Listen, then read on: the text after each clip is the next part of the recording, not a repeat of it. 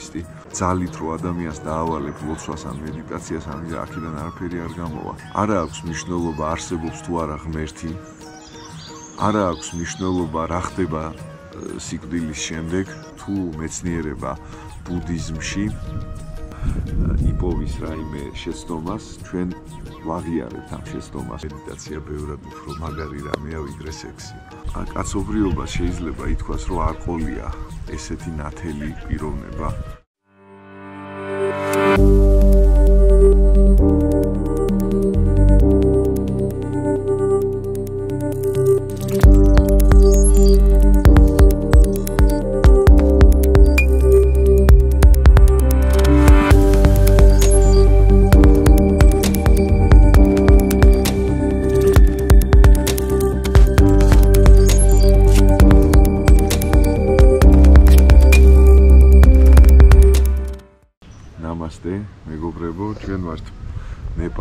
პოხარაში, ბუდას სამშობლოში და მინდა ვისაუბრო ამ ვიდეოში ბუდას შესახებ.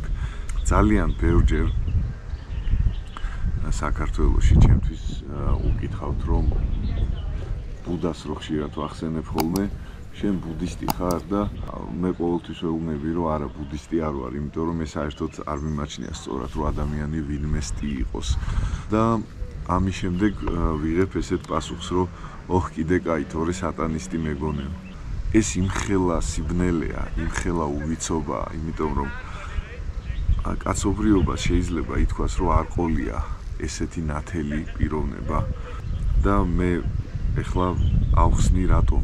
იმიტომ რომ 25 საუკუნის წინ ბუდამ გააკეთა ის რეფორმა, კაცობრიობის ისტორიაში, რომელმაც იმუშავა სხვათა შორის დიდი ხნის მანძილზე და რომელმაც რომელ რეფორმასაც ეხლა მეცნიერება ცდილობს.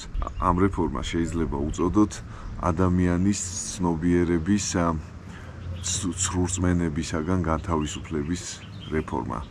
ანუ რო გავიგოთ ვინ არის ბუდა და რა გააკეთა, უნდა ვიცოდეთ ის კონტექსტი, რომელშიც ის მოვიდა. ანუ ინდუიზმის სამყარო. იცით ალბათ რომ ინდუიზმში არის 300 მილიონი ღმერთი და გაგება ღმერთის ცოტა სხვანაირია, ითვლება რომ ღმერთი არის ყველაფერი და ის არის ყველა ყველაში და ყველაფერში და აქ არ არის ერთი რაღაცა ცენტრალიზებული რაღაცა ინსტიტუცია, რომელიც იჩემებს მონოპოლიას ჭეშმარიტებაზე.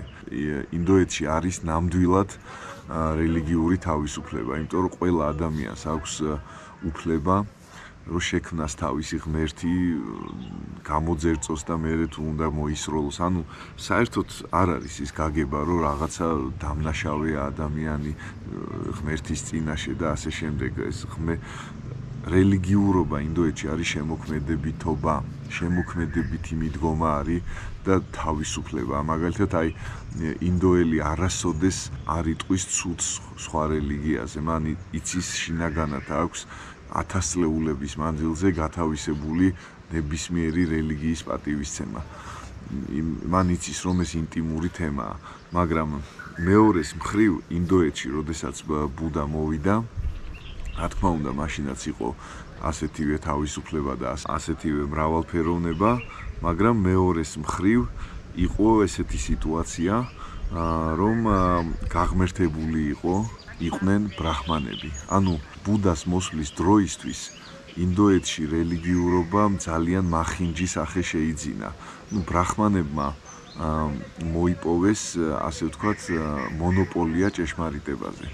ისინი ატარებდნენ რიტუალებს და ითვლებოდა რომ მხოლოდ ბრაჰმანს შეუძლია რიტუალის ჩატარება და მხოლოდ ბრაჰმანია წმინდა და მხოლოდ ბრაჰმანის მიერ ჩატარებული რიტუალია წმინდა და ადამიანები ფულს უხდიდნენ ბრაჰმანებს იმისთვის რომ მათ ღმერთი ღმერთების წინაშე რიტუალები ჩაეტარებინათ მათთვის და ასევე წმინდა წიგნებზეც მონოპოლია ბრაჰმანებს ჰქონდათ ანუ ბრაჰმანი მწიგნობარს ნიშნავს ზოგადად და ინდოეთში არის ოთხი ძირითადი კასტა ბრაჰმანების ქშატრიების ვაიშიების და შუდრების ანუ მწიგნობრების მეომრების ვაჭრების და მშრომელი ხალხის ასე ვთქვათ.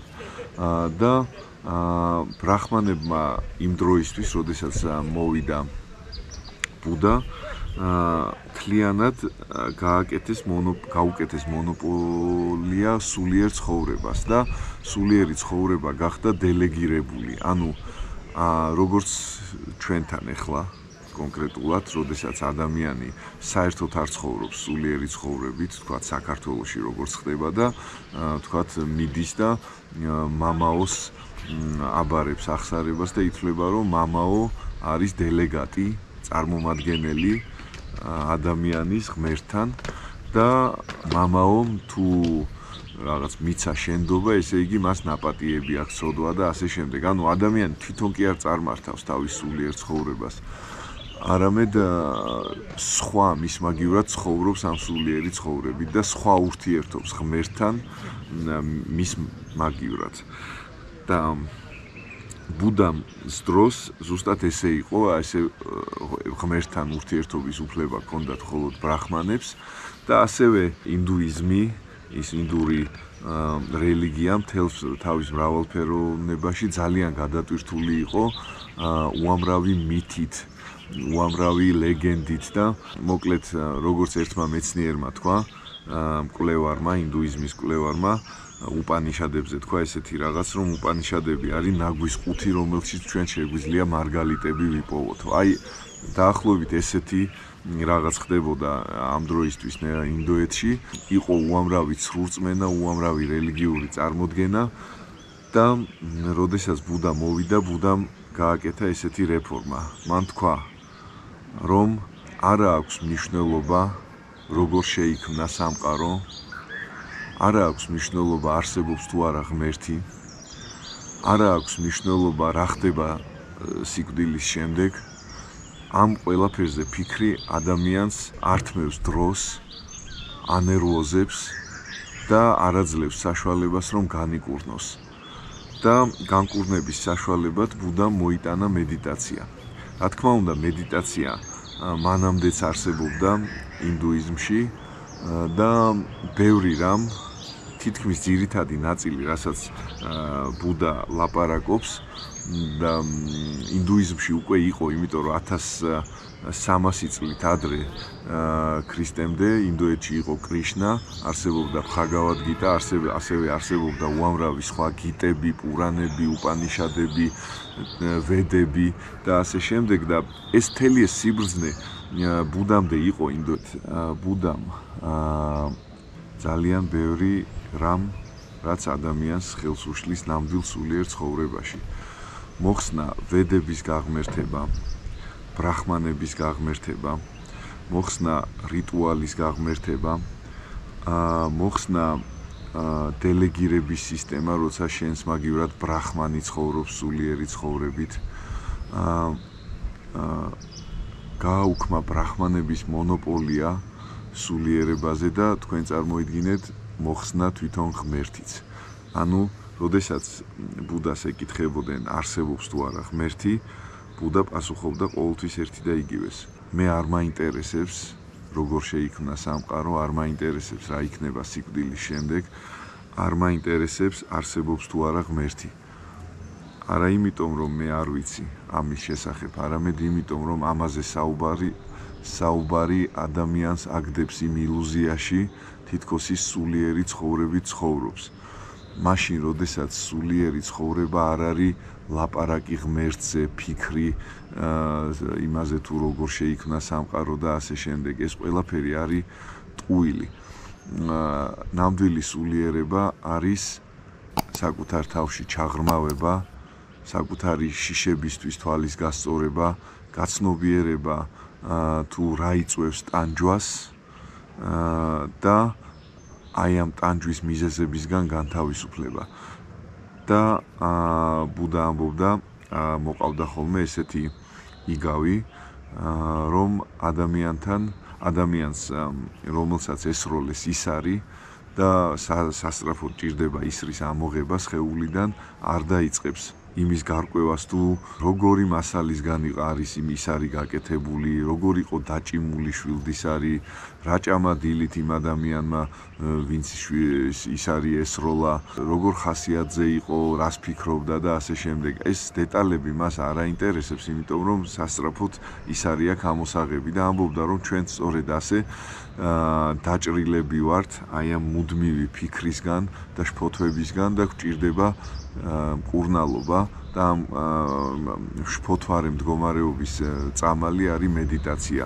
და სხვათა შორის დღევანდელმა მეცნიერებმა დაადასტურა მეცნიერებამ დაადასტურა რომ ეს ნამდვილად ასეა. ნეიროფიზიოლოგებმა შეისწავლეს ტვინი და აღმოჩნდა რომ ტვინში არის ეს დეფოლტ დეფოლტ სისტემა რომელიც რომლის ფუნქციაც არის მუდმივად წარსულის ანალიზი და მომავალზე მომავლის დაგეგმვა ადამიანების შეფასება და რომ ეს და ტვინის დეფოლტ სისტემა მუდმა მუდმივად მშფოთვარე მდგომარეობაში, ანუ რა ფიქრებსაც ის წარმოქმნის, არის მუდამ მშფოთვარე ფიქრები. ამიტომაც ტვინის დეფოლტ სისტემას სხვანაირად შეარქვეს უბედური ტვინი. და ასევე დადასტურდა, როდესაც ჩაატარეს რეალურ დროში ტომოგრაფიით ადამიანებზე დაკვირვება და მომედიტირე ადამიანებზე დაკვირვება, აღმოჩნდა, რომ მედიტაციის დროს დეფოლტ სისტემის აქტიურობა იკლებს და ტვინი ბევრად უფრო ჰარმონიულად იწყებს მუშაობას, იმიტომ რომ სხვადასხვა ნაწილები უკავშირდება ერთმანეთს და ამოდის ისეთი შეგრძნებები ამ დროს ადამიანის შინაგანი სამყაროდან, როგორიც არის უსაზღრო მადლიერება, აა სიმშვიდე, ბედნიერების განცდა და ასე შემდეგ. სხვათა შორის დალაი ლამამ ამას წინათ თქვა, რომ თუ მეცნიერება ბუდიზმში იპოვის რაიმე შეცდომას, ჩვენ ვაღიარებთ ამ შეცდომასო, რისთვისაც მე უდიდეს პატივს ვცემ დალაი ლამას. აა მაგრამ ბუდიზმი არის ძალიან მრავალფეროვანი. არსებობს 32 სახის ბუდიზმი. აა და რა თქმა უნდა, ყველა ეს სახეობა არ შეიძლება აა იყოს მართალი ბუდას მოძღვრების ინტერპრეტაციაში. ამიტომ ვინც ბუდიზმით დაინტერესდება, მე ურჩევ რომ პირადად ბუდას გამონათქვამებს მიაქციოს ყურადღება და არა ბუდიზმის რაღაც სკოლებს. ბუდა ჩემი აზრით იყო პირველი ფსიქოლოგი დედამიწაზე, ну ერთ-ერთი პირველი მაინც, იმიტომ რომ მა მისი მეთოდის არსი არის ზუსტად ის რა მიზანიც აქვს ფსიქოლოგიას, რომ გაანთავისუფლოს ადამიანი შიშებისგან, კომპლექსებისგან, ტრამვებისგან. სწორედ ამას აკეთებს ბუდას მედიტაცია და დღესაც მთელ სოფლიოში თქვა ბუდას ბუდამ ძალიან ბევრი ტექნიკა დატოვა მედიტაციური, მაგრამ ერთ-ერთი უმთავრესი ვიპასანას ტექნიკა დღესაც მთელ სოფლიოში არის ვიპასანას ცენტრები, სხვათა შორის სრულიად უფასო, სადაც ნებისმიერ ადამიანს შეუძლია მივიდეს, გაიაროს ადღიანი, ძალიან ძალიან ღრმა და ესეთი ტოტალური 10 დღიანი მედიტაციის კურსი და ამ მედიტაციის დროს სწორედ აი ამ ტექნიკით მედიტირების დროს სწორედ ყველაზე ღრმა ტკივილები, ტრამვები, შიშები ამოდის და ადამიანი აცნობიერებს აი ამ თავისი ქვეცნობიერის, თავისი არაცნობიერის შინაარსებს და თავისუფლდება მათგან. ანუ ბუდას მეთოდი რეალურად არის ფსიქოლოგიური მეთოდი. და საერთოდ ძალიან ბევრი ბუდას გამონათქვამი არის ძალიან პრაქტიკული და ძალიან ფსიქოლოგიური. მაგალითად, რა არის ჭეშმარიტი, რო კითხეს? რა არის ჭეშმარიტება, რო კითხეს ბუდას? ბუდამ ესეთი პასუხი გასცა: ის რაც მუშაობს. ეს ძალიან ფსიქოლოგიური და ძალიან პრაქტიკული პასუხია, იმიტომ რომ რეალურად ჩემთვის შეიძლება იმუშაოს სხვა რამე, სხვისთვის სხვა რამე.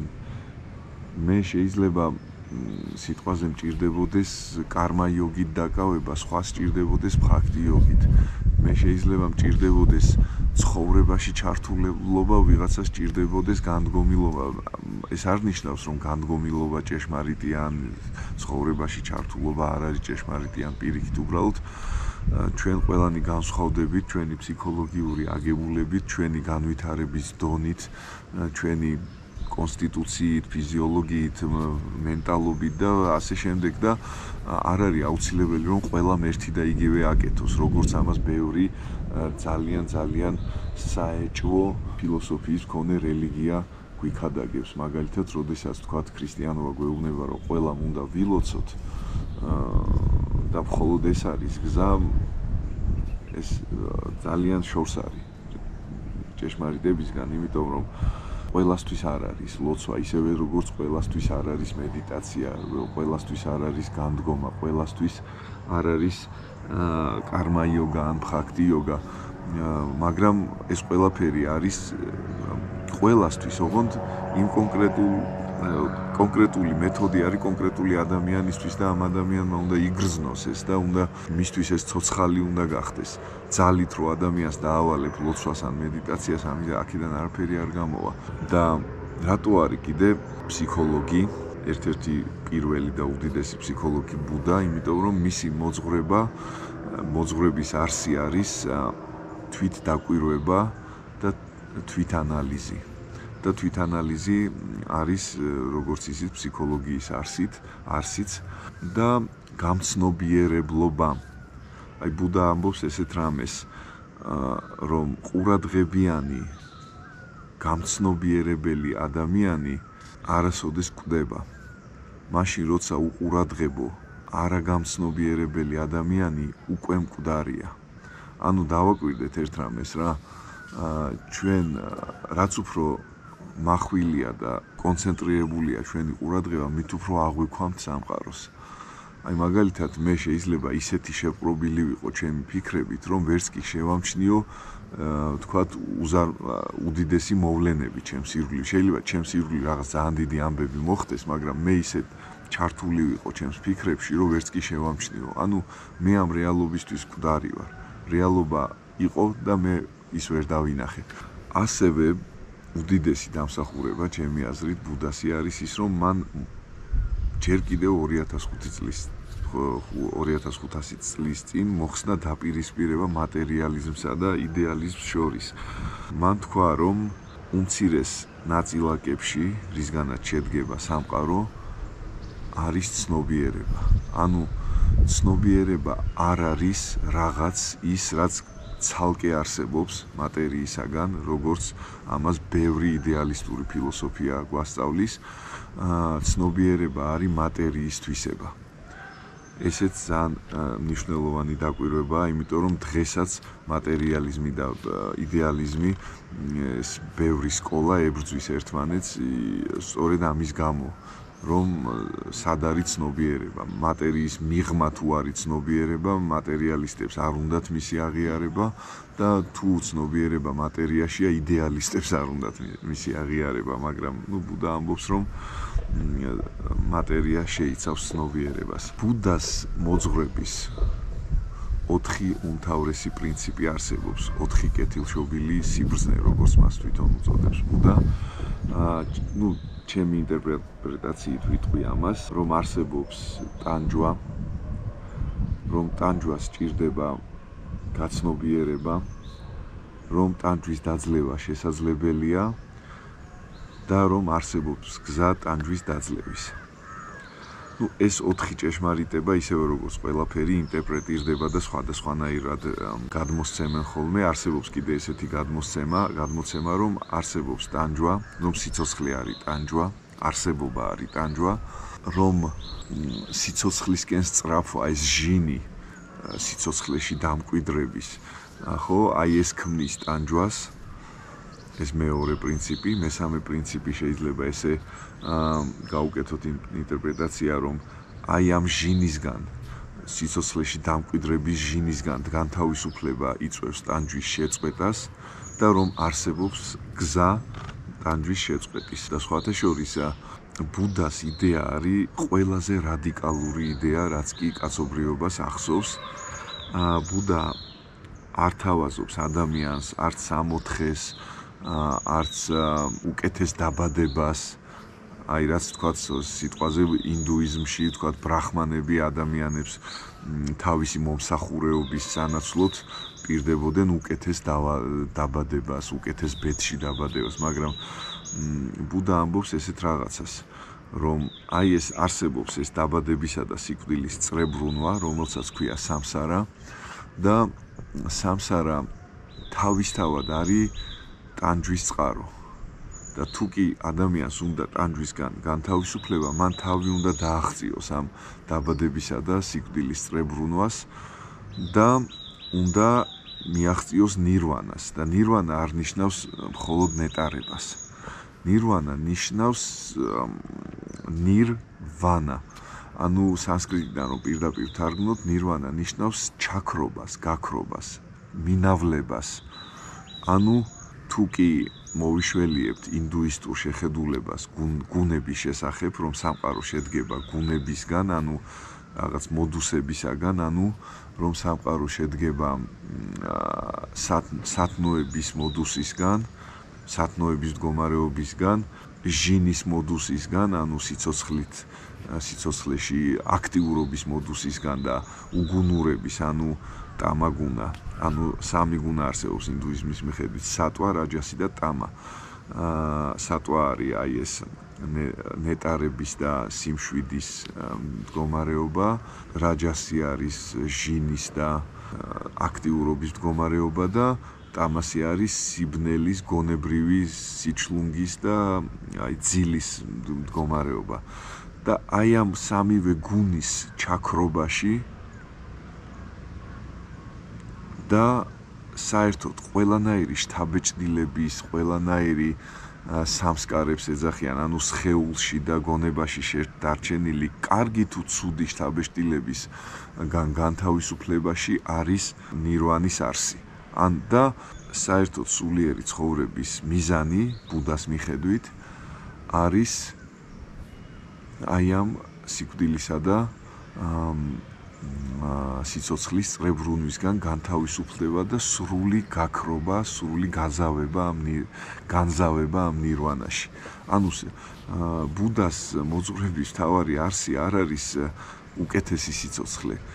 ბუდას მოძღვრების თავარი არსი არის სიცოცხლისგან განთავისუფლება. ეს ძალიან რადიკალური იდეაა და ამიტომ მე არ მიკვირს, რომ ბუდიზმი, რომელიც დაიბადა ნეპალში, და მაშინ არ არსებობდა ნეპალი და ინდოეთი ეს ყველაფერი შემდეგ შეიქმნა ძალიან ახლო წარსულში სხვათა შორის. მაშინ იყო სამთავროები და ამ აი ამ ტერიტორიაზე ინდოეთის სუბკონტინენტის ერთ-ერთ ტერიტორიაზე რომელიც ახლა ნეპალს ეკუთვნის დაიბადა ბუდა და არც ნეპალში არც ინდოეთში აა დიდად არ გავრცელებულა ნეპალში სულ 20%-ია ბუდისტები, დანარჩენი ინდუისტები არიან, ჰინდუები, ანუ ინდოეთში კიდე ქრისტიანი უფრო მეტია ვიდრე ბუდისტი. და ამას აქვს ძალიან ძალიან ღრმა და სერიოზული მიზეზი. და ეს მიზეზი არის ის, რომ ბუდა იმის გამო, რომ მოხსნა მითოლოგია, მოხსნა კოსმოგონია, გააუქმა დელეგირების სისტემა და თვით ღმერთიც კი გააუქმა და დატოვა მხოლოდ პრაქტიკული გზა სულიერი განვითარების. სწორედ ამიტომაც ეს არის ბუდიზმის ბუდას უდიდესი დამსახურებაც და უპირატესობაც სხვა მოძღვრებებთან, სხვა სულიერ სწავლებებთან შედარებით და ამავე დროს მისი სისუსტეც, იმიტომ რომ ადამიანს ადამიანი ცხოვრობს ეგოსა და ტვინის დეფოლტ სისტემის ტანდემში. აი ამ ტანდემს მუდმივად უნდა აა რომ ყველაფერი მოირგოს და მისი მიზანი არის საკუთარი თავის განდიდება და საკუთარი თავის დაცვა რეალურ ცხოვრებაში, ანუ ეგოს მიზანი არის საკუთარი თავის განდიდება და სხვის სხვაში სხვასთან შეჯიბრის მდგომარეობაში ყოფნა და დეფოლტ სისტემა, რომელიც ეგოს ურმოჭრილი მონაა, დეფოლტ სისტემა არის ყველაფერ ამის გამართლება და ასევე დამატებითი ფუნქცია აქვს ყოფა ცხოვრებაში კომფორტულად ყოფნა. და ნებისმიერი ადამიანი ზუსტად ამისთვის ცხოვრობს. აა სანამ ის არ გახდება ბუდა ასე ვთქვა სანამ სულიერი არსება არ გახდება. როგორც გურჯიევი ამბობდა ყველას არა აქვს სული. ანუ სული უნდა მოიპოვო. ხო და აი ეს ჩვეულებრივი ადამიანი ან ეგოსა და დეფოლტ სისტემის ტანდემში ცხოვრობს და მას აი ეს სულიერი ცხოვრება და წინსვლა განვითარება სულიერი საერთოდ არ ჭირდება. ამიტომაც იგონებს ის მუდამ აი ამ დელეგირების სისტემებს. ამიტომაც შექმნა ბრაჰმანიზმი, ამიტომაც ბუდა ბუდიზმი ერთი პერიოდი ძალიან გავრცელებული იყო ინდოეთის სუბკონტინენტზე, მას შემდეგ რაც მეფე აშოკამ, რომელიც ბუდისტი გახდა, გაავრცელა ის თელს ინდოეთში, მაგრამ აა საბოლოოდ ბუდიზმი მაინც დამარცხდა. კი ითვლება ახლა ერთ-ერთ სოფლიო რელიგიად, მაგრამ რეალურად ბუდიზმი ინდოეთში, ინდოეთის სუბკონტინენტზე სადაც გაჩნდა, დამარცხდა, იმიტომ რომ ადამიანს სწორედ ამ მიზეზის გამო, რომ ადამიანს ადამიანი ვერ გუობს სულიერ ცხოვრებას. მას ურჩევნია მოირგოს სულიერი ცხოვრების რაღაც ატრიბუტები და დააჯეროს თავისთავი რომ სულიერად ცხოვრობს და სინამდვილეში არ იცხოვრობს და სწორედ ამიტომ ქმნის ის რელიგიას. ამიტომ ქმნის დელეგირების სისტემებს, რომ თქვა ბრაჰმანმა იცხოვროს ჩემს მაგავრად სულიერად, მე ჩამეთლება. თქვა მამაო მიცხოვროს ჩემს მაგავრად სულიერად, მე ჩამეთლება. აი ამ ტყუილში უნდა როგორც ოშო ამბობს, ვერავინ შენ მაგავრად თავს ვერ თავის ტკივილს ვერ მოისჩენს და ვერავინ შენ მაგავრად თავის ტკივილის წამალს ვერ დალევს, ხო? ასევეა სულიერი ცხოვრებაც, ვერავინ შენ მაგავრად სულიერი ცხოვრებით ვერ იცხოვრებს, მაგრამ რეალურად ადამიანს არ უნდა სულიერი ცხოვრებით ცხოვრება, არ უნდა და მე სულიერ ცხოვრებაში არც მე და არც ბუდა არ გულისხმობდა არავენაირ პათეტიკას და არანაირ რაღაც ამაღლებულობას, ასე ვთქვა და რაღაც სისულელეებს. სულიერ ცხოვრებაში ბუდა გულისხმობდა და მეც ამაში ბუდას ორივე ხელით ვეთანხმები.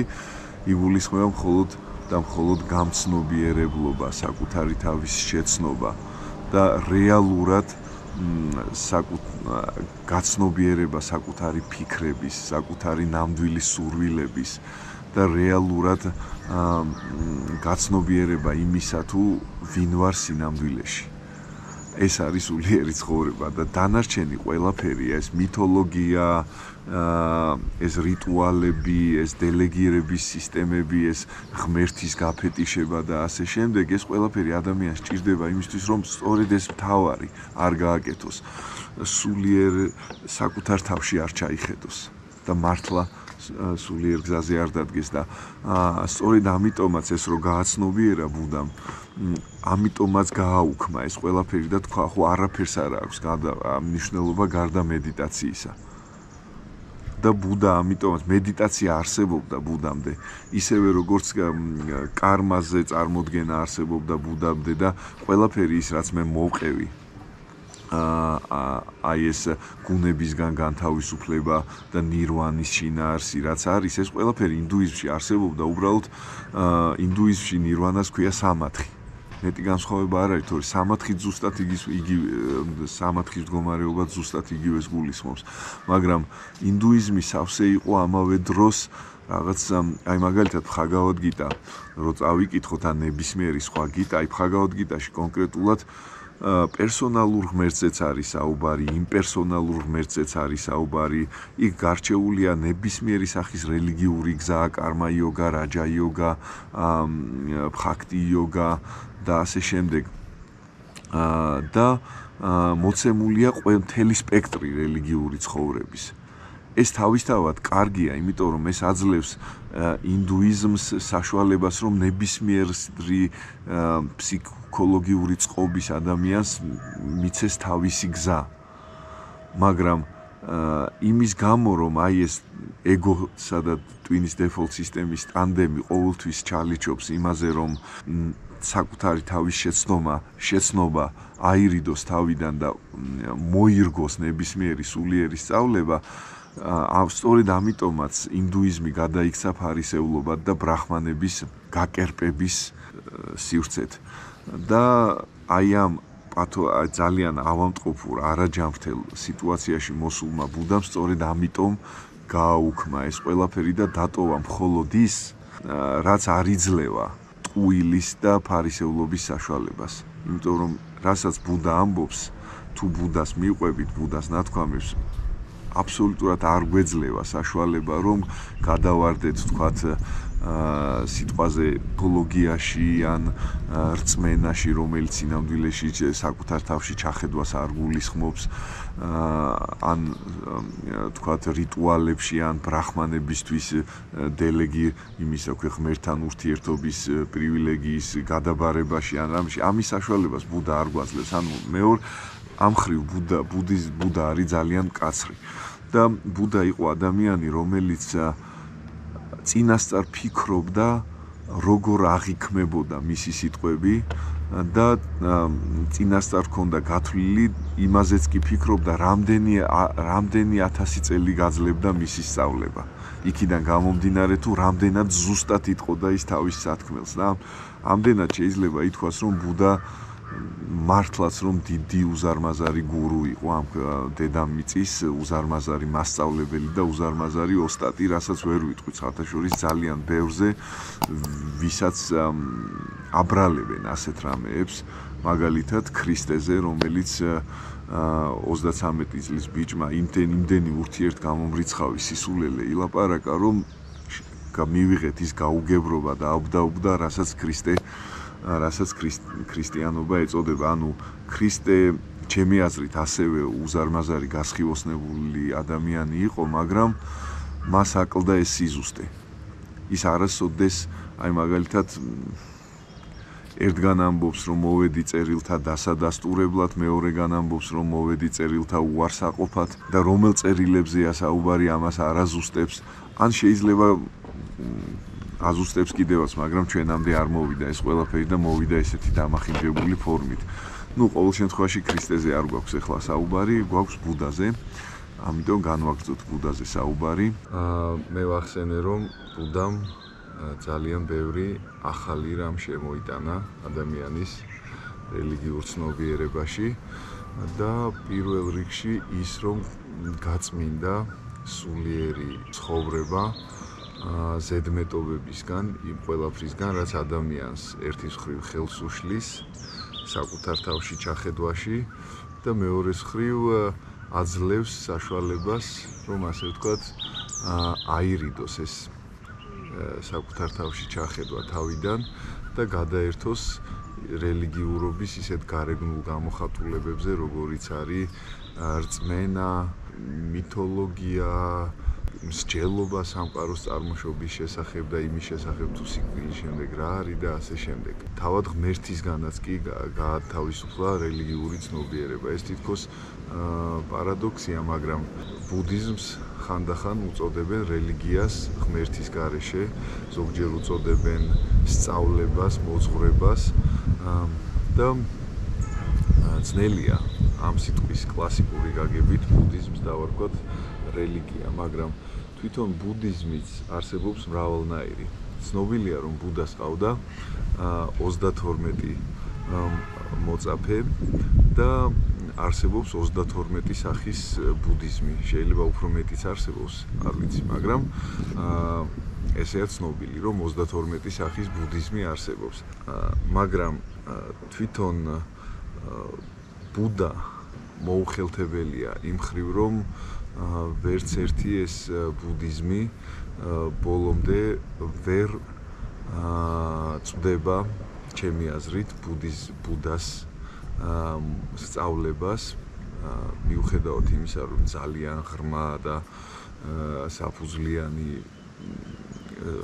სკოლები აქვს თითოეულ ამ 32 სახის ბუდიზმს იმიტომ რომ ბუდა იყო ძალიან ძალიან გულწრფელი და უკიდურესად ესეთი ადამიანი, რომელიც ამხელდა საკუთარ თავს და ადამიანი, რომელიც არ ტოვებდა არანაირ გზას ტყუილისთვის. და ბუდა ამ ხრივ მართლა უპრეცედენტო შემთხვევაა კაცობრიობის ისტორიაში, იმიტომ რომ მე არ მახსენდება მეორე ასეთი დაუნდობელი საკუთარი თავის მიმართ პირველ რიგში რა თქმა უნდა დაუნდობელი საკუთარი შეცდომების მიმართ ადამიანი ერთადერთი ალბათ ლაოძის თუ გავიხსენებთ, რომელიც ასევე ძალიან ღრმა და ასევე ძალიან სკრუპულოზური და ძალიან ზუსტი იყო თავისი გამონათქვამებისას. მაგალითად ბუდა აა სეკუთნის ასეთი სიტყვები. შეიტანე ეჭვი ყველაფერში, იმაშიც კი რომ ეჭვი უნდა შეიტანო ყველაფერში. ანუ ბუდას გზა არ არის რწმენის გზა, ეს არ არის აა უბრალოდ მსჯელობის, ანუ უბრალოდ პრაქტიკის გზა, ეს არის აა თვითდაკვირვების გზა საკუთარი თავის მხილების გზით. და პირველ რიგში გარდა იმისა, რაც ჩამოვთვალე, აა აი ამ სურვილებისგან, სიხარბისგან და მიჯაჭვულობებისგან განთავისუფლების გარდა პირველ რიგში, რასაც მივყავართ ბუდას, რისკენაც მივყავართ ბუდას გზას, ეს არის საკუთარი ეგოსგან განთავისუფლება, იმიტომ რომ ეგო არის ზუსტად ის ინსტანცია, სადაც ინახება სურვილები, სადაც ინახება მიჯაჭვულობები, სადაც არ არის ეგო, აღარ სურვილებია და აღარ მიჯაჭვულობები. და აი ეს პრინციპი შეიტანე ეჭვი ყველაფერში არის თანამედროვე მეცნიერების პრინციპი, როგორც ვიცით, მეცნიერება არც ცნობს ისეთ რაღაც ისეთ რამეებს, როგორზე როგორ რამეებზეც არის აგებული რელიგიური ცნობიერება, რწმენა, ნდობა და ასე შემდეგ. მეცნიერებისთვის არ არ არსებობს ფაქტი, რომელიც თქვათ შეიძლება გადაუმოწმებლად მივიღოთ. და ასევე იყო ბუდაც. ბუდა ამბობდა რომ უნდა გამსაჯოთ, უნდა შევიმეცნოთ ეჭვის შეტანის გზით. აა და ამდენად ის ამხრივაც ეხმი ეხმიანება თანამედროვე მეცნიერებას. და ეხლა მინდა ვთქვა ერთი რაღაც. საერთოდ ქრისტიანებს ისევე როგორც ყველას ალბათ ჩვევია საკუთარი რელიგიის განდიდება და ძალიან ხშირად მსმენია რომ ქრისტიანები ამბობენ რომ აი ქრისტიანობა იყო ის რამაცა ადამიანი აქცია ადამიანად და მანამდე აი ამ სიმაღლის მორალი და აი ასეთი საყოველთაო და რაღაც კოსმიური სიყვარული რაც ქრისტემ მოიტანა ესეთი აქამდე არ უნახავს კაცობრიობას და ეს ყველაფერი არის ტყუილი იმიტომ რომ 2005-500 წლით ადრე ჩვენი დროიდან ანუ ქრისტემდე 500 წლით ადრე ბუდამ მოიტანა ყველაფერი ის ის უმაღლესი სიყვარული, ის უმაღლესი სიკეთე, რაც შემდეგ, რასაც შემდგომ უშუალოდ იესოს გამონათქვამებში ხვდებით და მეტიც ეს ბუდასაც კი არ მოუტანია, ეს მანამდე იყო ინდურ სწავლებებში, ეს იყო უკვე ხაგავად გიტაში და სხვა ინდურ წიგნებში, ბევრად ადრე ბუდამდეც, მაგრამ როგორი ფორმულირება გაუკეთა ამას ბუდამ, აი ეს არის ძალიან საინტერესო. ბუდა ამბობს, რომ თუ შენ სიკეთეზე სიკეთით პასუხობ, ეს რა თქმა უნდა კარგია, მაგრამ უმაღლესი სიკეთე არის, როდესაც შენ ბოროტებაზე პასუხობ სიკეთით. და ამასთან დაკავშირებით ძალიან აა კარგი იქნება თუ გავიხსენებთ იმას თუ როგორ წავიდა ამ ქვეყნიდან ბუდა. Ну როგორც ვიცით ბუდამ 40 წელი ეძია ჭეშმარიტება 40 წლისა გასხიოსნდა აა 80 წლის ასაკში წავიდა ამ ქვეყნად. სიცოცხლის მეორე 40 წელი მიუძღვნა იმას რომ ადამიანებს აა ასწავლიდა თავის აი ამ თხარმას, აი ამ სწავლებას. და სხვათა შორის არის ესეთი მომენტი ერთ-ერთ ლეგენდაში ბუდას შესახებ, რომ როდესაც ბუდა გასხივოსნდა, აა მან მიმართა სამყაროს, ესე ვთქვათ, იმიტომ რომ უცნაურია რომ ვთქვათ, რომ მიმართა ღმერთს, მაგრამ ვიღაცას მიმართა აშკარა, ანუ ამ ლეგენდის მიხედვით. და იკითხა ბუდამ, ვის უნდა უქადაგო, იმიტომ რომ ვინც ის იცის რაც მე შევიცანი, მას არ ჭირდება ქადაგება. აა ისედაც იცის, ხოლო ვინც არ იცის, ის ამას ვერ გაიგებს. იმიტომ რომ ბუდას მიხედვით არსებობენ ძინარე ადამიანები და გამოღვიძებული ადამიანები. თვითონ სიტყვა ბუდაც ნიშნავს გამოღვიძებულს. ბუძიც რუსული აეკედან არის. აა ну შემდეგ ამას დაერქვა გასხივოსნებული, მაგრამ რეალურად ბუდა არის გამოღვიძებული. და რას ნიშნავს ეს?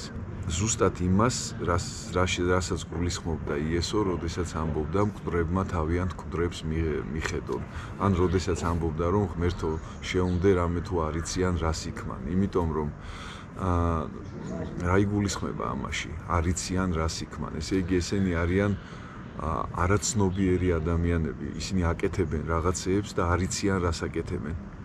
და ზუსტად ეს არის ბუდას მოძღვრება, რომ არსებობენ, უბრალოდ ტერმინოლოგიაშია განსხვავება, ბუდა ამას არქმევს ძინარე ადამიანს. და შინაარსი, რაც შინაარსი ამის უკან იგივეა. ბუდა ამაში გულისხმობს ადამიანს, რომელიც იმდენად არაგამცნობიერებელია, იმდენად უცნობოა, რუსთაველის ენით რო ვთქვათ, არაცნობიერია, რომ აა ის რაღაცეებს აკეთებს და ვერც კი აა იაზრებს, რას აკეთებს. მაგალითად არსებობს ესეთი იგავი აა ბუდამ ეწვია ერთ-ერთ მეფეს და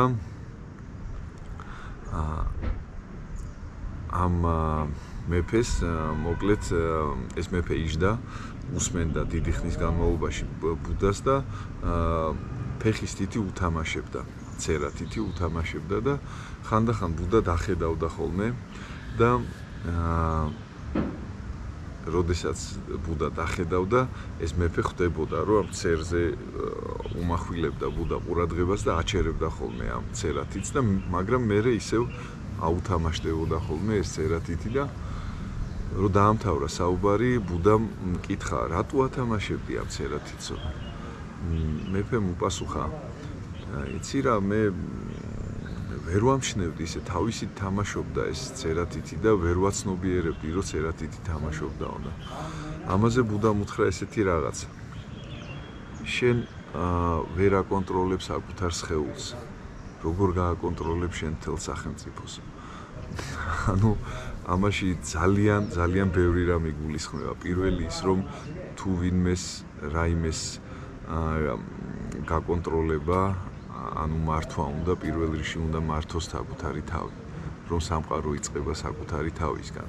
და მეორე ის რომ გამცნობიერებლობა იწება საკუთარი თავისგან და გამცნობიერებლობა არის უმთავრესი რაც ადამიანს ჭირდება რომ მან უნდა გააცნობიეროს საკუთარი სურვილები, საკუთარი მოქმედებები და საერთოდ ყველაფერი უნდა გააცნობიეროს. არის ასეთი ამბავი ბუდას ხოვრებიდან. ბუდა მიდიოდა გზაზე ერთი სოფლიდან მეორე სოფელში და უნდა გაიარა კიდე ერთი სოფელი, სადაც ბუდას დაუყარეს რაღაც ჭორები. და სადაც ბუდა არ უყარდათ რაღაცის გამო, არ ვიცი რის გამო. აა და როდესაც აა გაიარა ამ სოფელში დაიჭირეს იქაურმა გლეხებმა და მოკლედ ყველანაირი შეურაცხყოფა მიაყენეს, რაც კი შეიძლება და სიტყვიერი, ფიზიკური ყველაფერი და აა როდესაც მოკლედ დაიღალნენ ამ შეურაცხყოფის მიყენებით, ბუდა მიკითხა დაამთავრეთო, კითხა ამ ადამიანებს და კი დაამთავრეთო უთხრეს. მაშინ მე მეჩქარება და წავალო უთხრა. და ამ ადამიანებმა ეთყობა იქაც იყო რაღაცა ძველ ბიჭური ფილოსოფიის მსგავსი. მოკლედ გაიკვირვეს შენ რა ადამიანი ხარო ეს შეურაცხყოფა მოგაყენეთ და ხმა არ ამოიღეო. რაზეც ბუდამ უპასუხა.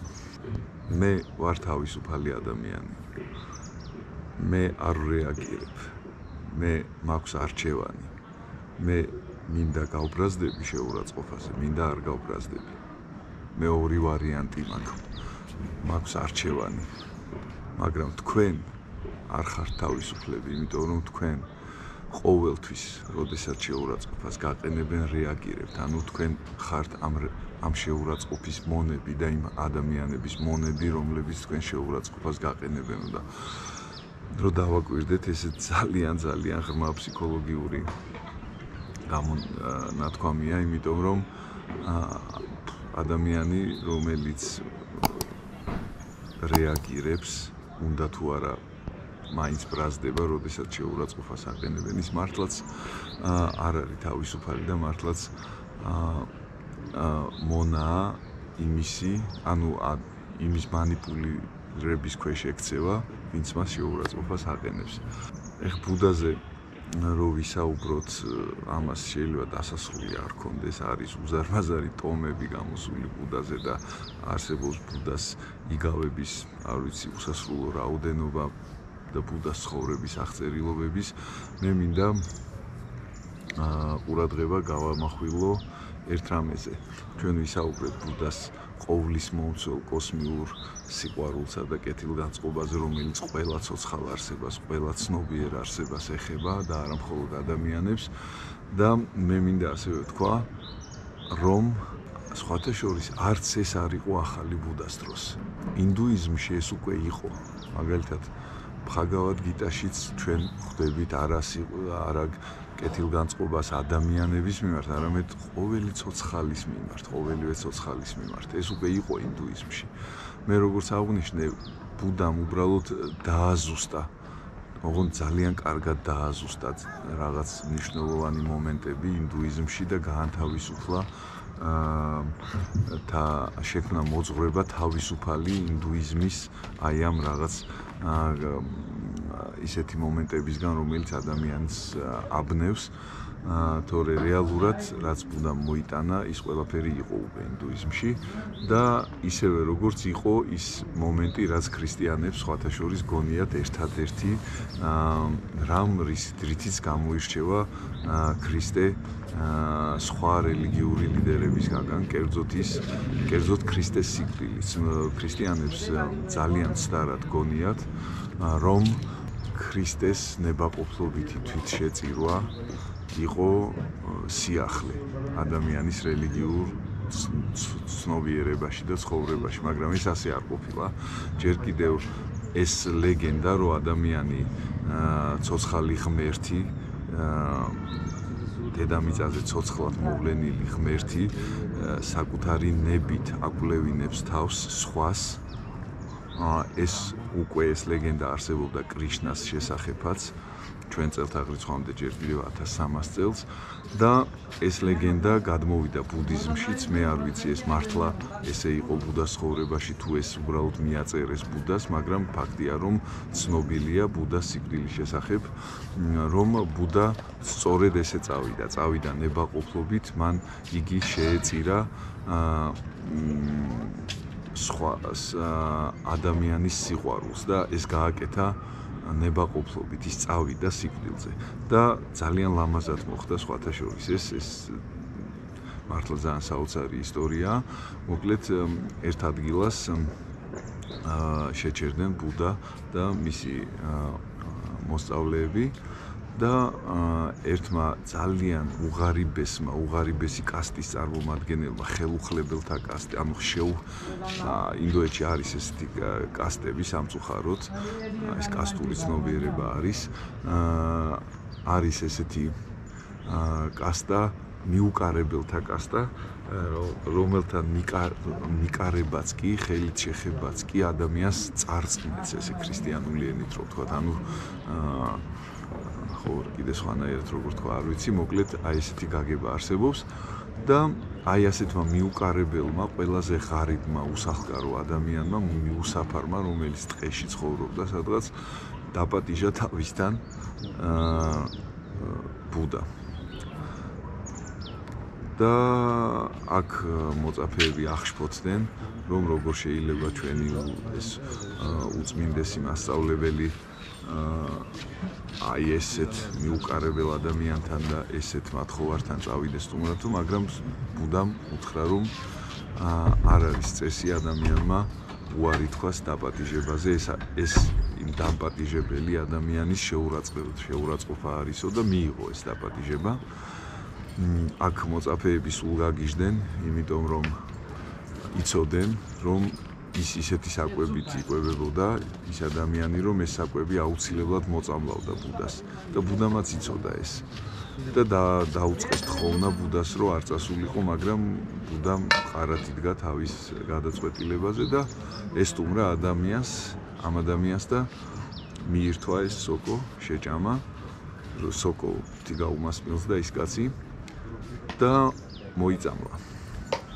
მოიწამლა და როდესაც უკვე სიკვდილის წინ აა იწვა მოკლედ სასიკვდილო სარეცელზე აქ უკვე მოწაფეების განრისხებამ პიქს მიაღწია და გაიწიენ ამ ადამიანის მოსაკლავად და ბუდამ უთხრა ესეთი რაღაც რომ თქვენი მასწავლებელი ამ ადამიანის ხელიდან ხელით წავიდა ამ ქვეყნიდან ამიტომ კი არ უნდა აა შეურაცხოთ ეს ადამიანი არამედ ჩემი დანაბარები იქნება რომ ამ ადამიანს პატივით მოეპყროთ და განსაკუთრებული პატივით მოეპყროთ.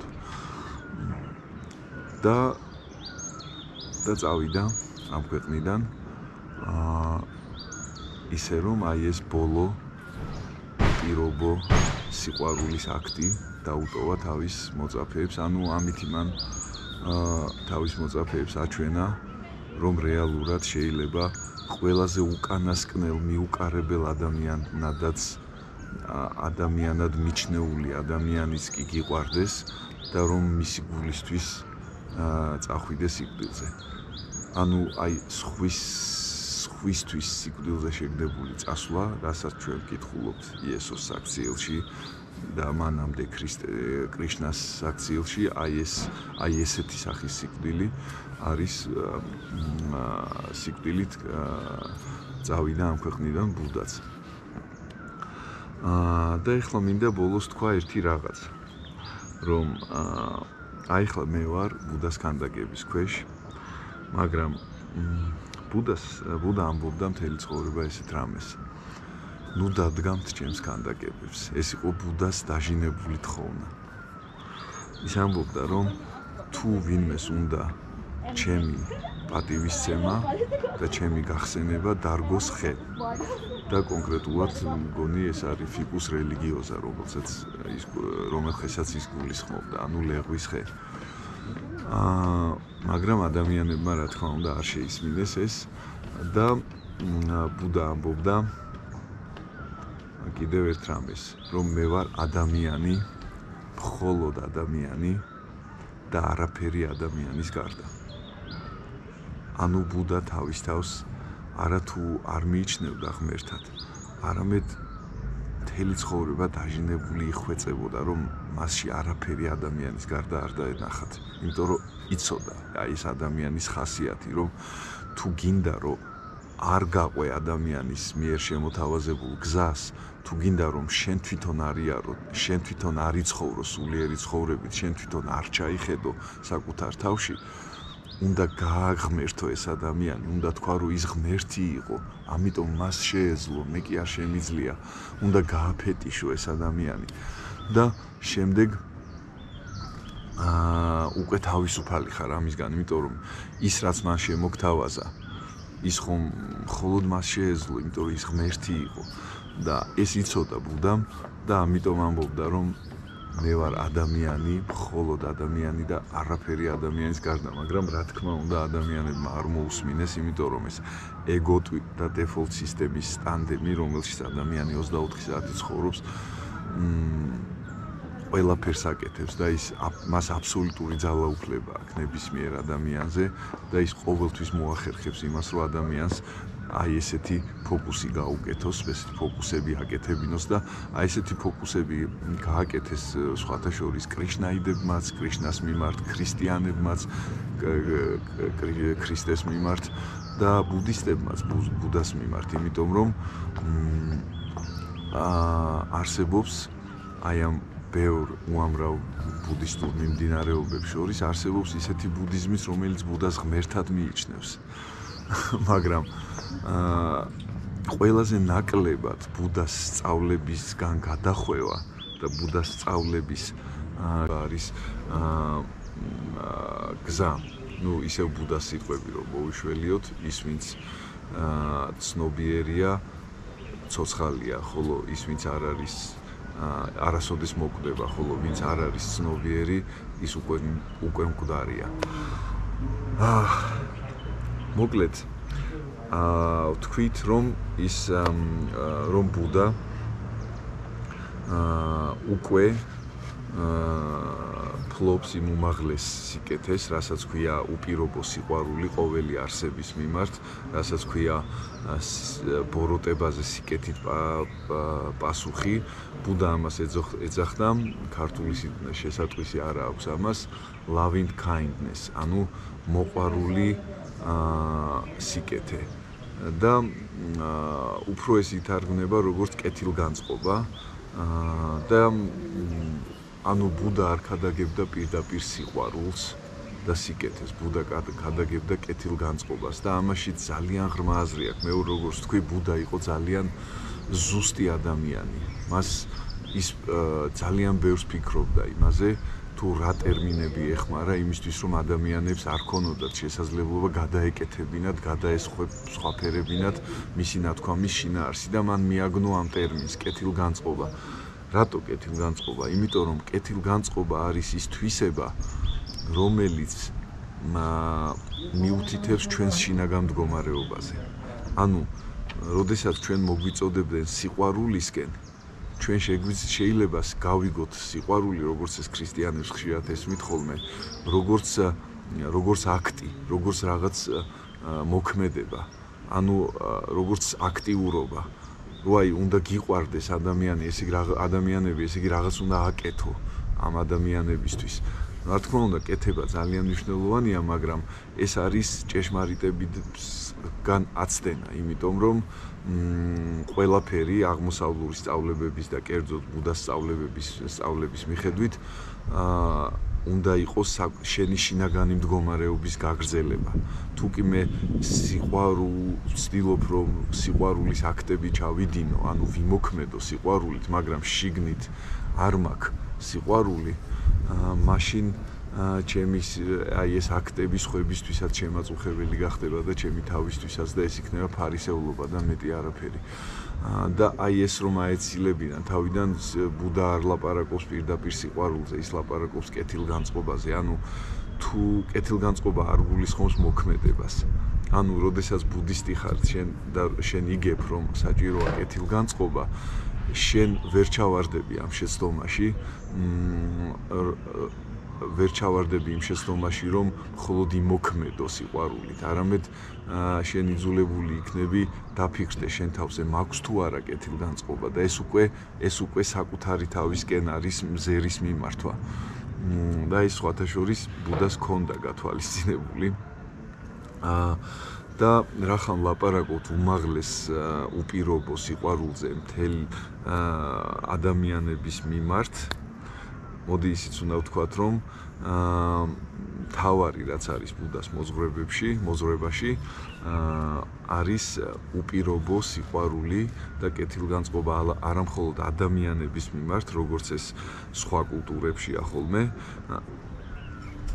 არამედ არამედ ყველა ცოცხალი არსების მიმართ. და საინტერესო ერთი რაღაც დღესდღეობით ფილოსოფიაში მე რაც ვიცი, უკანასკნელი სიტყვა ეკუთვნის სემ ჰარის, რომელმაც შემოიტანა ესეთი well-being-ის თეორია. აა და თქვა, რომ აა კარგად ყოფნისკენ ტოლვა არის სიკეთე და ის რასაც ტანჯვა მოაქვს ადამიანებისთვის, უფრო სწორად სემ ჰარისის განსაზღვრება არის ცნობიერი არსებებისთვის, ეს უნდა განსაზღვროთ როგორც ბოროტება. იმისათვის, რომ შევიმუშაოთ არა რომელიმე კულტურის და რელიგიისათვის დამახასიათებელი მორალი, არამედ უნივერსალური საკაცობრიო მორალი. და სემჰარისი ამბობს, რომ აა აბსოლუტური უსაზღრო და უსასრულო ტანჯვა ყველასათვის, აი ეს არის ყველაზე ცუდი რამ, რაც შეიძლება წარმოვიდგინოთ. და აა თუ კი რაიმე ქმედებას მივყავართ რომელიმე ცნობიერი არსების ტანჯვისაკენ. მაშინ ეს უნდა განისაზღვროს როგორც ბოროტების მომტანის აქციელი და სიკეთის მომტანს აქციელად უნდა განისაზღვროს ის რაც მოაქვს კარგად ყოფნა აა სხვებისათვის. და სემხარისიც რომელსაც ხათაშორის ძალიან დიდი აა გავლენა აქვს აღმოსავლური კულტურის ამბობს რომ აა აა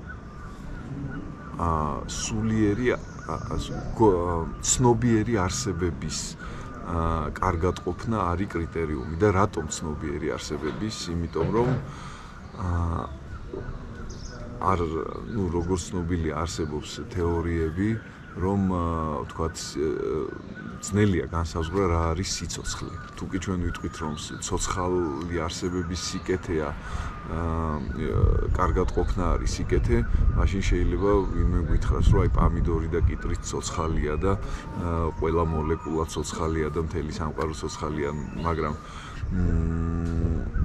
სემჰარის შემოაქვს ტანჯვა როგორც კრიტერიუმი, სწორედ იმიტომ, რომ სწორედ ცნობიერი არსებები განიცდიან ტანჯვას. პამიდორი და კიტრი არ განიცდის ტანჯვას, როდესაც ჭრიან, მაგრამ თუ რომელიმე ოდნავ მაინც ცნობიერი არსება არსებობს, ის განიცდის ტანჯვას, როდესაც მას ეხებიან აა ცუდად და როდესაც ტკივილს აყენებენ და სხვათა შორის აი ეს ყველაფერი რაც ემხარისმა ეხლა მოიტანა და რასაც რაც ახალ სიტყვად ითვლება ფილოსოფიაში და რადგან მეცნიერულ პარადიგმაში ცდილობს ამის დანერგვას ხარისი ეს ყველაფერი ქონდა უკვე ბუდას. იმიტომ რომ ბუდა ამბობს ეს რაღაცას ყოველი ცოცხალი არსება თრთის სიკვდილის წინაშე და ყოველ ცოცხალ არსებას აა ცოცხალ ყოველი ცოცხალი არსება განიცდის ტკივილს. აა ამიტომ მოიქეცი ერთნაირი პატივისცემით ყოველ ცოცხალ არსებას. ანუ თუ დავაკვირდებით, აქაც კრიტერიუმი არის ცნობიერი არსებების კარგად ყოფნა, იმიტომ რომ ვინ განიცდის, ვინ თრთის სიკვდილის წინაშე, ის ვისაც ცნობიერება გააჩნია. აა და აა ბუდა აა ამბობდა რომ ადამიანმა არ უნდა მოუტანოს ტკივილი და ტანჯვა არც ერთ სულიერ არსებას. ну მე მგონი რომ ამაზე დიდი სიკეთე და ამაზე დიდ უმაღლესი ცნობიერება და ამაზე ნათელი და სინათლით სავსე ცნობიერება უბრალოდ არ არსებობს. ამიტომ ამიტომაც მეცინება ხოლმე, როდესაც საქართველოში მოსახლეობის უმრავლეს ნაწილს, უმეტეს ნაწილს გონია, რომ ბუდიზმი სატანიზმია და აი ესეთ რაღაც ესეთ აი ესეთ სტარ წარმოდგენებში არსებობს ბევრი ადამიანი. აა ბუდა აა ისევე როგორც ალბათ ყველა რელიგიური პირველ წყარო ადამიანი პირველ წყარო ისეთები როგორიც იყვნენ კრიშნა, მაჰავირა, რამა კრიშნა, ქრისტე და ასე შემდეგ ბუდაც იყო ძალიან დიდი პოეტი, ძალიან ფაქიზი აღქმის ადამიანი. აა მაგალითად ბუდას ეკუთვნის ესეთი გამოთქმა: სამყარო კი არ უნდა შეთქლიფო, არამედ უნდა უხნოსო მას. აი ესეთი პოეტური აღქმა ქონდა სამყაროსი. და ერთი იგავი გამახსენდა ახლა აი ამ პოეტურ აღქმასთან დაკავშირებით. ბუდა როდესაც ერთხელ მოკლედ ხშირად ჩაივლი და უბრალოდ ერთ გზაზე სადაც ცხოვრობდა ერთი ულამაზესი სილამაზით განთქმული ქალი ახალგაზრდა და ამ ქალს შეუყვარდა ბუდა, მივიდა ბუდასთან და უთხრა რომ მასთან ერთად უნდა და ყოფნა, უნდა უნდა და ყოფნა მისი მოწაფე ყოფილიყო. აა და რა თქმა უნდა ამ ქალის მიზანი იყო რომ ბუდა გახდარიყო მისი შეყვარებული. აა და გამოუთხდა მას სიყვარულში და ბუდამ უთხრა რომ არ მიყვარხარო და არ გაბოა ჩვენი ერთად ყოფნაო. და ერთხელაც ძალიან დიდი ხნის მერე თქვა დაახლოებით 30-40 წლის მერე, როდესაც ბუდამ ჩაიარა იგივე გზაზე, აა დაინახა ეს ქალი, ოღონდ უკვე დამჭკნარი, მოხუც მოხუცებული. უკვე სილამაზე დაკარგული და მივიდა ამ ქალთან და უთხრა: აი ახლა მე შენ მიყვარხარ და შეგიძლია წამოხვიდე ჩემთან ერთად. არ ვიცი ვინ როგორ აღიქვამს მე ამ იგავში ვხედავ აა იმას რასაც ბუდა ქადაგებდა. აა თელი თავისი ცხოვრება რომ ის ყველა ცოცხალ არსებაში პირველ რიგში ხედავდა ცოცხალ არსებას და არა მხოლოდ სხეულს და არა მხოლოდ სილამაზეს და ხედავდა სიცოცხლეს აა კალშიც მათ შორის თქმა უნდა. გაბიაბურება ასე ვთქვათ გამოუვიდეთ მაინც ბუდისტებს იმიტომ რომ ბუდა ბევრად უფრო ზუსტი იყო. ბევრად უფრო მკაცრი და წინდახედული იყო. თავის გამონათქვამებში ვინდა ვიდრე ქრისტე ან ნებისმიერი სხვა რელიგიური ლიდერი ან თუნდაც ვიდრე კრიშნა. აა და ამისთვის ბუდა ძალიან პატივსაცემია. და მე კიდე ერთხელ ვიმეორებ იმას რაც დასაწყისში ვთქვი რომ მე არ ვარ ბუდისტი რადგან მიუღებლად მიმაჩნია იყო რა ვინმესტი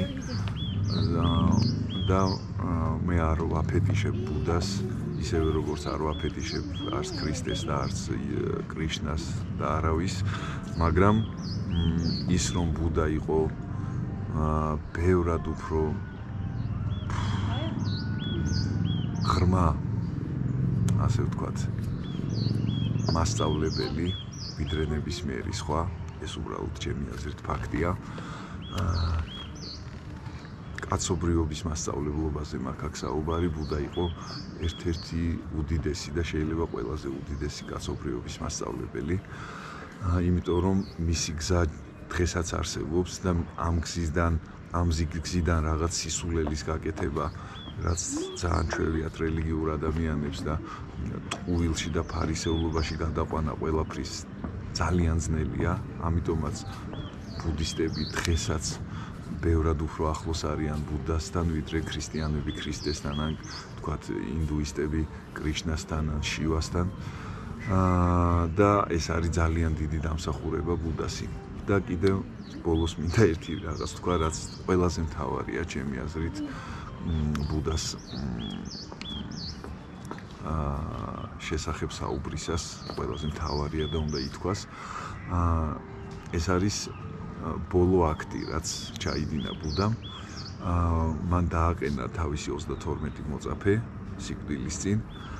და თხოვა მათ რომ სათითაოდ აა მოეყოლათ ეთქვათ რა ისწავლეს ბუდასგან ну ზოგმა თქვა რომ ბუდასგან ისწავლა თხარმა ზოგა ზოგმა თქვა რომ ისწავლა აა 4 კეთილშობილი ჭეშმარიტება ზოგ ზოგმა რა თქვა ზოგმა ყველამ სხვადასხვა რაღაც თქვა სხვა.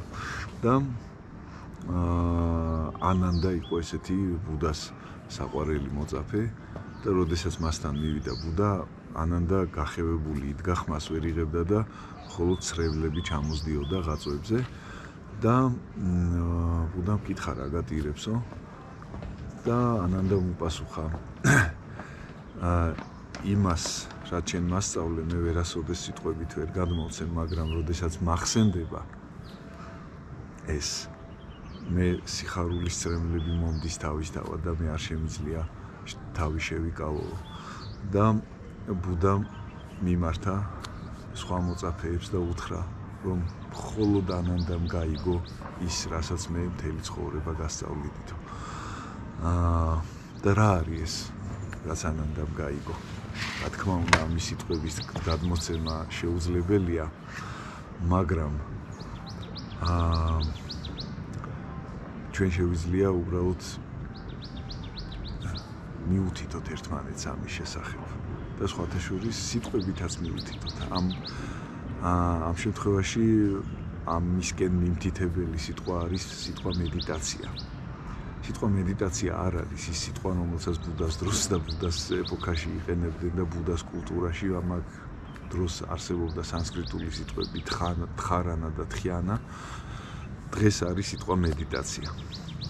აა ზოგადად ბუდა ამბობდა და ეს ცნობილი უძველესი ესეთი აა გამოთქმა არის, რომ ოსტატი ოსტატს არ მიყავხარ ჭეშმარიტებ ბამდე ოსტატი მხოლოდ თითია გაშვერილი თვარისკენ.